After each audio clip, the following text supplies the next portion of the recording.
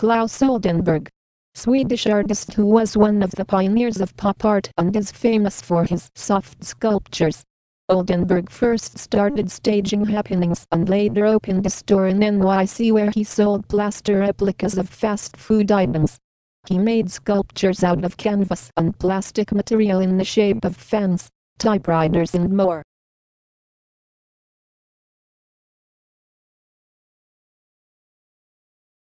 Orpheus. The Thracian poet whose poetry and music moved inanimate objects. Orpheus was adapted for the cinema by John Cocteau who also wrote an adapted play entitled Orpheus.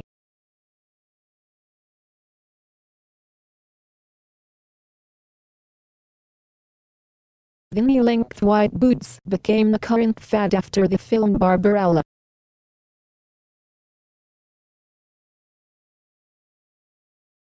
Gaius Caesar Caligula Roman emperor who came into power after the death of his adoptive father Tiberius, but soon became mad and was assassinated by his council and replaced by Claudius.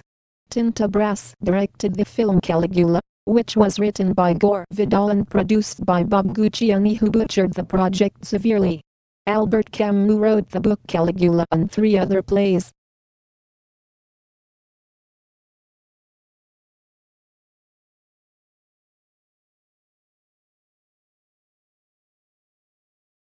Tinto Brass directed a film with Vanessa Redgrave and Franco Nero called Dropout.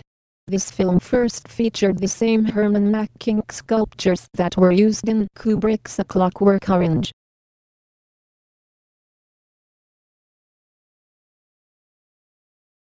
Herman Makkink, a Dutch sculptor who designed erotically abstract objects in the 1960s. The rocking machine, an object that combines a penis with a woman's buttocks, was used as the murder weapon in Stanley Kubrick's The Clockwork Orange.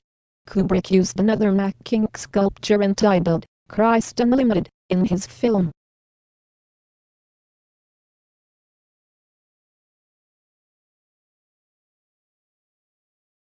Tinto Brass was one of the directors asked to shoot Burgess's A Clockwork Orange. Terry Southern originally conceptualized the film to be directed by Michael Cooper, featuring Mick Jagger as Alex, and having the Rolling Stones as Alex's Droogs. Anthony Burgess wanted Ken Russell to direct but Russell was currently making The Devils with Oliver Reed.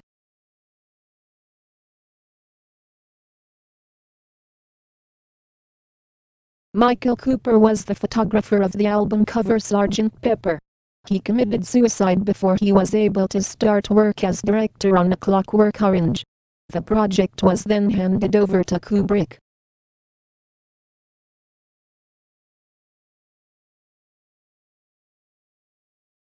Nadsat was the language used by the delinquents in A Clockwork Orange.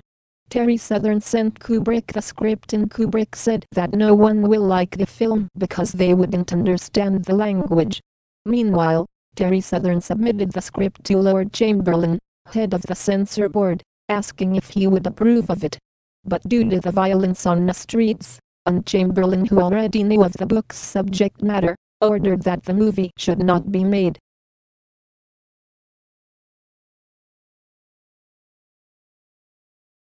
David Hemmings, the promising young star of Antonioni's blow-up, was one of the first persons asked to star A Clockwork Orange.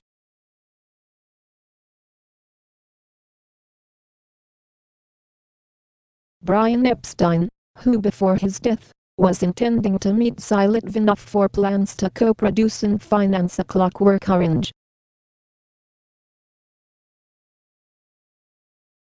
Nicolas Roeg was one of the directors originally asked to direct A Clockwork Orange.